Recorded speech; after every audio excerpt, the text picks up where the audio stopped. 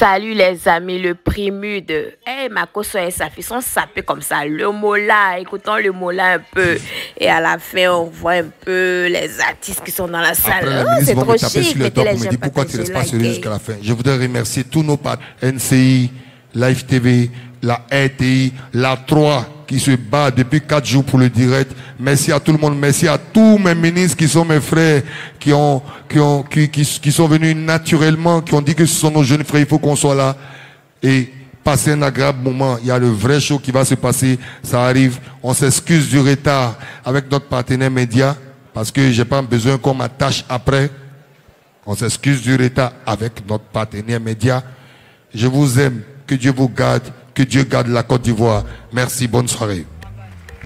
Merci, bravo. Bon, et le mot de bienvenue pour lancer cette soirée, le ministre de la promotion de la bonne gouvernance, du renforcement des capacités de la lutte contre la corruption.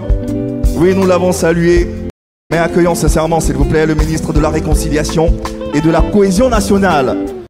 Monsieur Quadio Conan-Bertin, pour son allocution, s'il vous plaît. Merci de l'applaudir.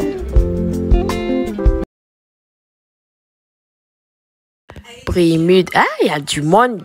Ah, tout le monde est au rendez-vous. On va voir les artistes là et tout et tout. J'ai dit connectez-vous, restez connectés. Si on finit par regarder aujourd'hui, même demain, on va regarder. C'est quasiment, Donc, je vous emmène tous les informations. Donc à ce pupitre, il sera des nôtres. Et nous pourrons véritablement, humblement, lancer cette cérémonie. L'allocution dans quelques instants du ministre de la Réconciliation et de la Cohésion nationale qui est bel et bien présent et nous rejoint accompagné de son protocole.